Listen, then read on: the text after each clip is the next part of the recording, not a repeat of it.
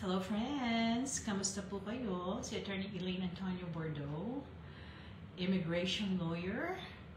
Magandang umaga po sa inyong lahat from Colorado. Today's episode po, may mga nag-request sa akin, Attorney, mag-visa bulletin ka naman for December of 2023. Yan.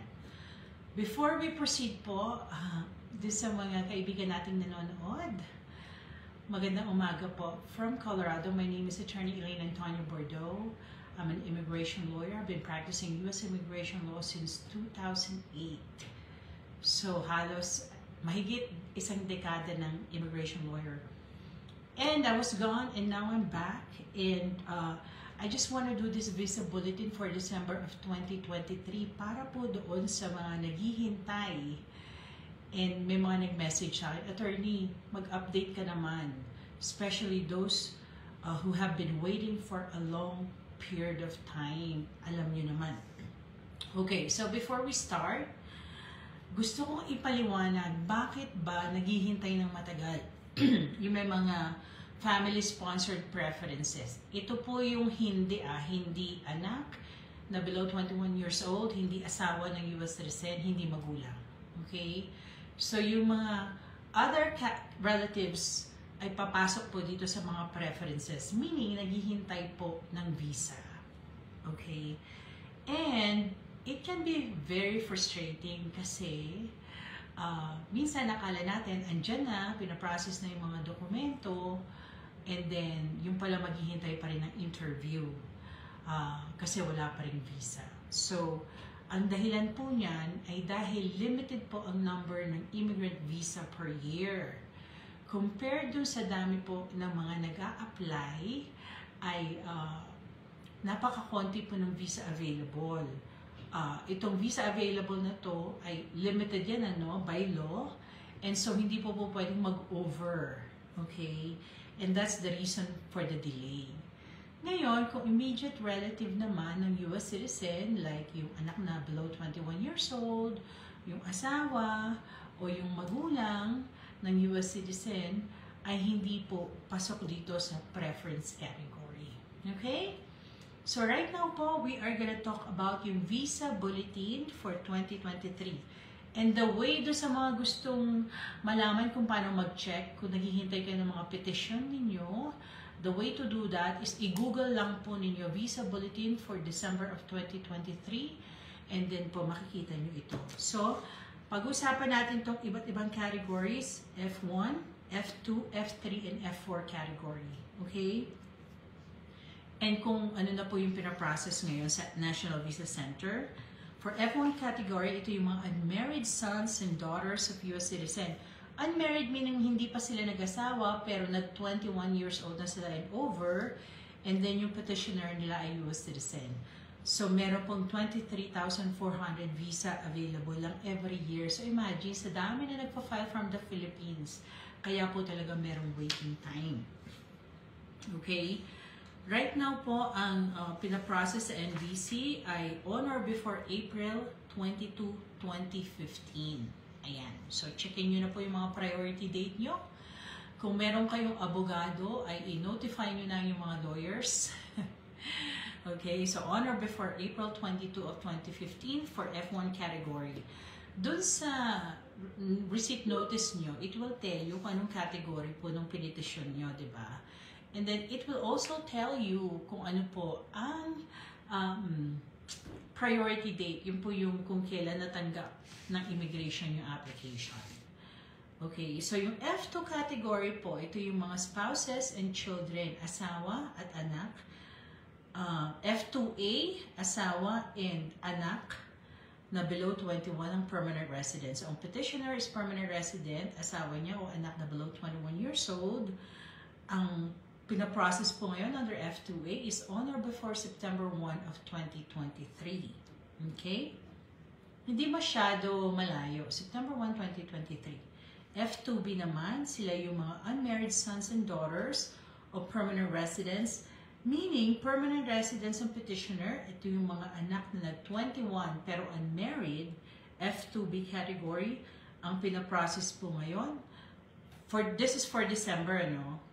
On or before October 1 of 2013. Yun yung priority date. Okay? Sa F3 category naman, ito na yung mga married sons and daughters of U.S. citizens. So, ang petitioner nila ay US citizen, tapos yung pinipetisyon ay mga married na anak. Ang category po doon ay F3 category. November 8, 2003 po. 2003. Tagal maghintay, ano, pag may pagka-married na yung anak. Kahit uh, US petitioner ang magulang, ay uh, matagal pang waiting. Ito naman yung F4 category sa mga kapatid. Minsan nakakadismaya pag tagtanong, attorney, ipepetisyon ko na yung kapatid ko, how long ba ang processing time? Okay, ang F4 category po, ito po yung mga brothers and sisters ng adult US citizens. Okay, on or before April 22 of 2004. Imagine, ganun po ang pag-waiting time.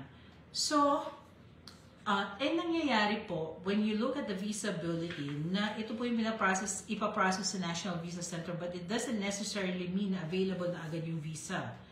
So, ang proseso po ay dadaan sa National Visa Center. May mga dokumento na namang isasubmit doon, yung DS application, tsaka yung affidavit of support. You know what? The truth is, mas marami ang sinasubmit na dokumento sa National Visa Center. Doon po nangyayari yung NBI clearance. Yan. Tapos yung mga tax documents, yung financial documents ng petitioner. Yan po. And so, um, mas maraming dokumentong sinasubmit. And right now, everything is done online. So, digital na po ang application, online, consular electronic processing na po.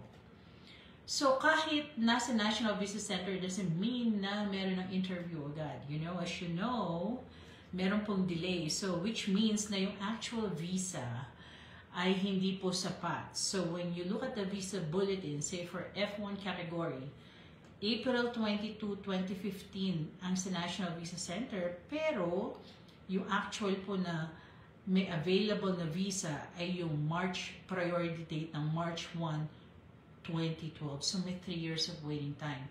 So, yun po yung paliwanag on this um, you know, visa processing. Huwag po kayong magalit sa inyong mga abogado kung mayroong delay. Because, um, you know, ang delay po ay dahil sa dami na nag apply at lahat po ay naghihintay. Okay? So, yan po ang visa bulletin natin. And uh, pinag-usapan natin yung iba't ibang category. Okay? So, kung malapit na po ang inyong priority date dito, ay pwede nyo nang tawagan ng inyong mga abogado. o makakatanggap na kayo ng letter or email from the National Visa Center. Kung na-mention na po yung priority date nyo pero hindi pa rin kayo nakakatanggap ng email or information from the National Visa Center, what are you gonna do? You may contact the National Visa Center. And how do you do that? Go online po, National Visa Center, merong public online form. And lalagay nyo lang po yung mga information about the case number, information po about the petitioner, about the applicant, and then sabihin nyo doon ang priority date nyo ay current na, of course in English. and you would like to get the invoices kasi may babayaran kayong invoices sa National Visa Center. Okay po? So yan po. Good luck sa inyo and sana yun sa mga naghihintay, don't lose hope. Darating din po yun. For 2024 naman, ang ating visa, ang, ang immigrant visa available po ay 226,000 for family-sponsored petition. Imagine, sa dami-dami na nagpa-file, yan lang po ang pinag-aagawan. So ano po ang solusyon dyan? I think ang solusyon dyan is damihan na nila ito. And yung backlog, especially yung F4 category, mga kapatid na sobrang tagal maghintay.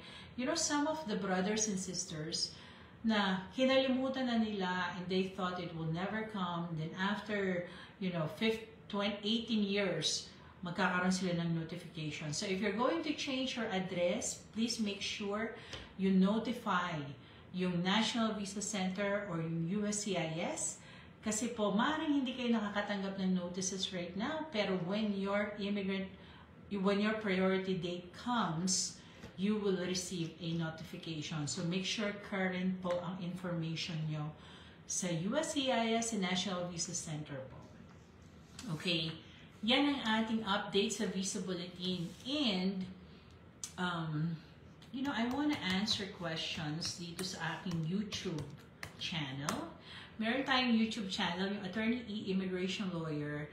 And I already have 3.84k subscribers. Konti na lang para mag 4k. So, yung mga hindi pa pa nagsusubscribe, please do. We talk about US immigration law, yung mga relevant po sa mga tungkol sa US visas, work visa, family petition. And I just want to answer questions kasi ang tagal ko pong nawala. And, uh, you know, I just want to do this bago mag-change ng taon. so, sana po supportahan niyo itong channel ko. Okay, so YouTube, Attorney E, Immigration Lawyer. Ayan. And sa mga nanonood po, maraming salamat. Thank you for watching.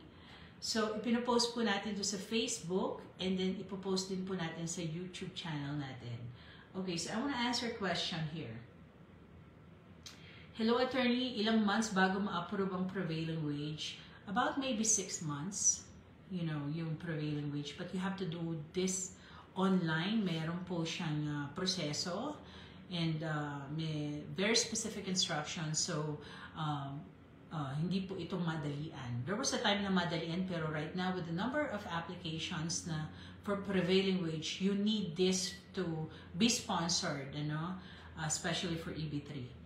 Okay, question naman, next question. Attorney, pag under H4 visa ako, posible po kayo maghanap ng employer sa US na magpa-process ng H2B ko po. So, na H4 visa ka na, And then, yes, of course, you know, if you're in the US, may mga H-2B petitioners na po pwede mong tanungin at mag-process ng yung visa. Make sure po na hindi kayo maloko at marami pong mga maloloko for H-2B. Uh, ang H-2B is a work visa program na temporary, yung mga seasonal. Makikita nyo po yung mga H-2B workers uh, sa mga hotels pag peak season o kaya yung mga restaurants pag peak season. Meron pong yung mga contract projects po and sa mga hotels. Usually sa hotel sa isang taon meron silang season like yung mga um, ski resorts, 'di ba? Very busy sila during yung winter. So maraming mga nagpupunta to ski. Ayan, so yun yung kanilang peak season. Usually you can find H2B visa workers. Mag-ingat po kayo because recently ang Philippines po ay hindi pinasama because of the scams. Especially if you're coming from the Philippines. Okay, but yes, you can find H2B visa employer and there's a process for that. It will be initiated by your employer. So magsisimula po ang proseso sa inyong employer, bawal din po ang pagbabayad. So may mga prohibited fees ang mga H2B workers.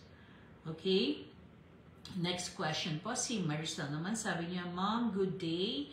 Tanong ko po, pwede po bang maging employer ang pinsan ko? Mag-work po ako sa kanila as babysitter. Actually, yung mga nag-sponsor na relatives, yan, uh, red flag sa immigration. You know, so may proseso po ang, baka yung EB3 po ang gusto niyang um, um, tinatanong niyo dito in the form that you will fill out, yung employer ay tinatanong doon kung, kung kamag-anak mo ang iyong employer kasi nire-red flag nila yun eh.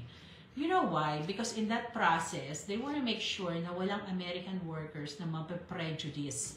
So it's not it's not very easy like, okay, I'm gonna sponsor my uh, kamag-anak to be a caregiver or babysitter. You know, marami nagkukonsulta and, uh, you know, of course, ang ang naiisip nila it's a very easy process. I know in other countries, mas madaling mag-sponsor ng care, caregiver or nannies or babysitter. But in the United States, medyo may kahirapan. Okay? And may mga regulations. So, minsan may mga nagkukonsulta na kukunin niya yung kanyang kapatid bilang babysitter. Kung dadaan po sa proseso ng EB3, ay dadaan po yan sa Department of Labor. Ititest ang market. They want to make sure na walang mapaprejudice na American workers before po yan pupunta pa sa immigration. And then doon sa immigration, uh, kailangan nilang, they want to make sure na qualified yung employer, may kakayanang magbayad nung, uh, nung agreed or yung prevailing wage uh, para dun sa workers. So it's a process and it's not an easy process um, na basta mo nilang ipa-file and then you can um, you can get the worker.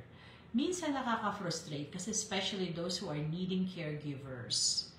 Kasi, you know, they need the caregiver now, pero malalaman nila yung EB3 process pala ay hindi ganoon kadali ang proseso. So, siguro ang average waiting time is about 3 years.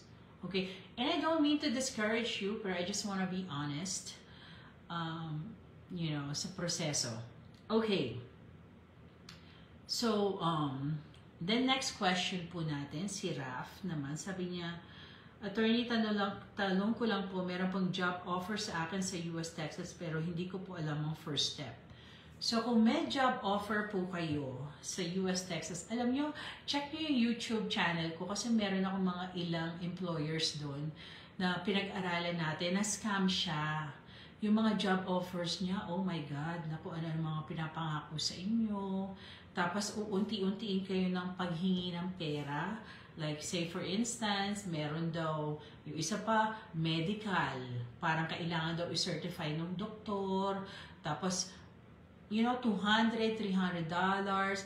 Hanggang sa palaki na ng palaki, ikaw naman magbabayad ka, oh, for medical daw, 300 dollars. And then may susunod na step na naman. So, hindi po yun ganon. So, kung ikaw ay nasa Pilipinas, makipag-deal pa rin po kayo sa license agency sa Philippines kahit ito po ay papunta sa Amerika kasi gagamit din po sila ng agency sa Philippines para mag-process po ng dokumento. And ang mga petition po papuntang Amerika ng employ, employment visa sponsored petition, generally ay hindi po pinagbabawal ang mga manggagawa. May mga tinatawag pong prohibited fees. Okay? Tapos, meron pong mga recent scams na nakita natin na grabe, desperado yung mga scammers, ano, nagpo-produce sila ng mga fake na immigrant visa, na, na nandun yung picture mo, tapos approve na, hindi ka pa man humaharap sa embassy. So, nakakaawa po yung mga kababayan nating naluloko. And, you know, yung isang pinag-aralan nating scam, uh, palaki ng palaki yung hinihingi, hanggang thousands and thousands of dollars na. And then hinaharas na siya eventually when when she was backing out. So nakakaawa po. So mag-ingat po kayo. Unfortunately, marami pong manluloko kasi easy money. 'Di ba sabi nila may mga love scams na papaibigin ka and uh, sasabihin sa iyo o oh, ano um, you know, uh, paibigin ka hanggang sa hihingan ka ng pera, you know. Etong job scams, mas madali gawin to ng mga scammers kasi all they do is to promise you na merong trabaho sa Amerika. So, yun lang ang promise nila sa'yo. So, they promise you that you're gonna have a job in the United States and then ikaw naman akala mo totoo kung meron kang job offer, uunti-untiin ka, $100, $200. And you know what I noticed also? Yung kanilang, yung humihingi ng mga tag 200 $300 for the expenses incidental to the recruitment daw, like medical. GCash or yung local money ang ginagamit. So, nandyan din din sila. So, you have to be really, really careful. Sabi ko nga yung love scams, napakadaming naluloko niyan. Pero itong job offer scams, mas marami po itong nalulokong mga Filipino. Kaya mag-ingat po tayo makipag-deal lang po kayo sa mga license agencies natin sa Philippines because whether we like it or not, dadaan pa rin po sa kanila. And kung license agencies, at least you can go to the government agency kung magka-problema. Makikita nyo kung saan sila nag-uupisina. Unlike kung mga online uh, job offers, you know, you don't even know kung nasaan sila. And then after they got your money, you know, it's gone. So marami pong mga nakakaawang naloloko. Okay, so you have to be careful. Pero to answer your question, ang employer ang nag-initiate ng application. So, don't give, huwag kayong magbigay ng pera when there's a job offer. Make sure po na may proseso. And sometimes they even use lawyers. Like, you know, ng mga nagpapanggap na scammers, sasabihin pa nila, we have a lawyer. And then doon kayo kunyari makikipag-usap. And then yung lawyer ang manghihingi ng pera. So, most employer employer sponsored, yung employment visa sponsored sa US, ay bawal po ang magbayad ng mga workers. Yung tinatawag nating prohibited fees. Okay? So, be careful. Alright. So, next question naman po. So, binabasa ko itong mga questions sa YouTube channel po natin. Ang YouTube channel ko is Attorney E. Immigration Lawyer. We have more than 100 videos na about US visa. Okay, so itong question naman niya, si Verna. Ma'am, tanong ko lang po, kasal na kami ng American partner ko dito sa Pinas. Ano po kaya ang pwede kong uh, i-apply papunta ng, ng US as a visit lang po? Okay. Alright, so kung, so anytime na merong kasalan with an American citizen, um, tapos mag apply ka ng tourist visa, you know, di ba dinideny? Because kapag, nag, kapag may asawa kang American, uh, pinipresyong na nila na meron kang immigrant intent na maninirahan ka sa Amerika. Okay? And you can do that. Pagdating mo sa Amerika, pwede kang sponsor, you know. But, so, and so, sa pag, pagdating sa embassy natin, dinideny nila yan kasi may presumption na ikaw ay mag-stay na sa Amerika and that's not the right petition for you. So, kung meron kang asawang American, ang dapat sa'yo ay sponsor ka niya bilang asawa. Okay? And I will not encourage you na mag-lie kasi kung kasal na kayo, tapos susulat mo doon sa application mo ay single ka pa. So, it's misrepresentation. Okay? So, you have to really plan kung meron kang, uh, I always say, yung pagpapakasal, pagpunta sa Amerika, kailangan planuhin ng mabuti before you get married or before you file any immigrant or non-immigrant visa petition. Okay? Pero, kung i-sponsor ka ng asawa mo, dapat mag-initiate ang asawa mo, ang American spouse mo bilang petitioner. Pero kung magbibisita ka naman na sa tourist, you can file for your tourist visa application. And uh, yun na nga, merong risk of denial because sasabihin, ay, may asawa ka na palang American. Baka pagdating doon ay hindi ka na uuwi. yun ang challenge natin mga Filipino, di ba? Kaya napakataas ng denial ng tourist visa application sa embassy natin sa Manila. Okay? Um, I don't know if, if I answered your question. Okay, pero kung gusto ka nang i-sponsor ng asawa mo, then immigrant visa petition. Alright? So, eto naman.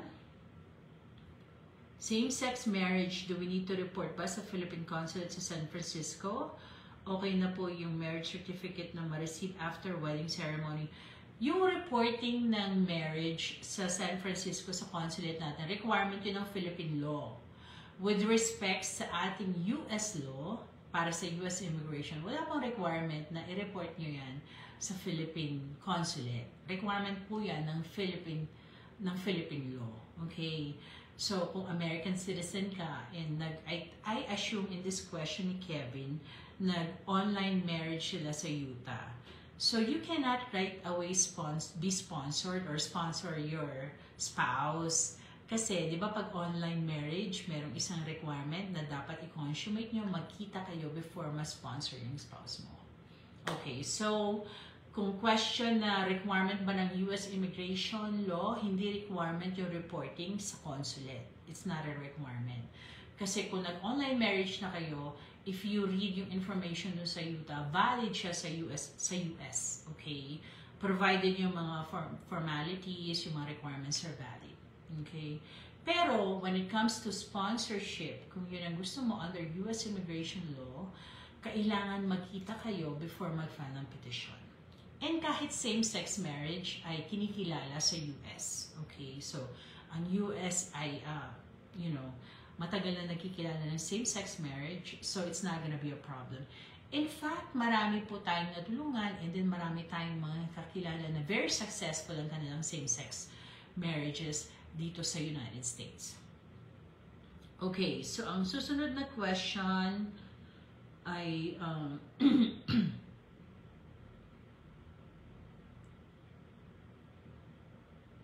nga itong ano, special power of attorney. Sabi niya, thoughts of positivity. Ito ang question niya. Sabi niya, yung parents niya, Filipino, ay naging American citizen. Nagpunta sila sa Philippines and eventually nag-vacation sila. Unfortunately, in hospital and then na-diagnose na cancer yung father niya and hindi na siya nakabalik. And then, napilitan na silang ibenta yung kanilang uh, property sa US to to pay for the expenses. Paano daw yung authentication from US Embassy in the Philippines? Can a notarized SPA in Philippines acceptable to be authenticated in US Embassy? Ah, so ito naman, nasa Philippines yung American citizen. Yes, merong notarial services po ang embassy. You have to contact our embassy in the Philippines. Okay, so ang tinatanong niya, yung father niya, ang mag execute ng special power of attorney na nasa Philippines pero yung father niya ay American citizen. So yes, contact the US Embassy in the Philippines and then meron po silang services for American citizens. Okay po? Ayan. So ito naman, next question, sabi ni Shuji, Attorney, send ko po ba kayo pwedeng i-reach for questions? Okay, so if you want to schedule a consultation with me, mag-email kayo eb at eboardlaw.com or mag-text 713-315-7793 para sa online consultation po. Alright, so etong isang question gusto kong sagutin. Si DC Domino, sabi niya, nung final daw yung petition 5 years ago, wala siyang anak. And then last year, nanganak siya.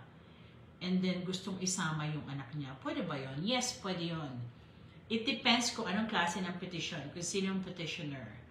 Kung ang petitioner ay um, magfo-fall dito sa uh, sa preference category, napaka-technical po nito. Ang payo ko, kumonsulta kayo sa abogado. Pagdating po sa National Visa Center, may tinatawag na derivatives, yung mga beneficiaries na po pwede mong isama.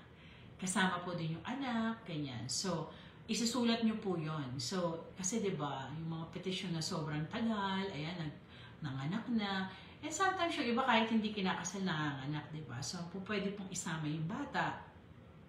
Then, kailangan pong isulat doon yung derivative beneficiaries na magjo-join. Okay? So, kahit doon sa original petition hindi yun nakasama, ay pwede pong isama. Eventually, pero po paano naman kapag pagka immediate relative? So yan ang technicality kapag US petitioner, tapos immediate relative yung pinipetition, so hindi po ganun yung rule. So ang payo po, kumonsulta kayo sa immigration lawyer. Ito po, next question naman. Itong magandang sagutin. Sabi niya, attorney, ano po ba ang proseso kung kukunin kabilang kasambahay diyan sa Amerika? Po pwede ba mag-sponsor ng housekeeper? Pwede naman po. Pwede bang mag-sponsor ng caregiver? Pwede naman po. Pwede bang mag-sponsor ng babysitter? Pwede po.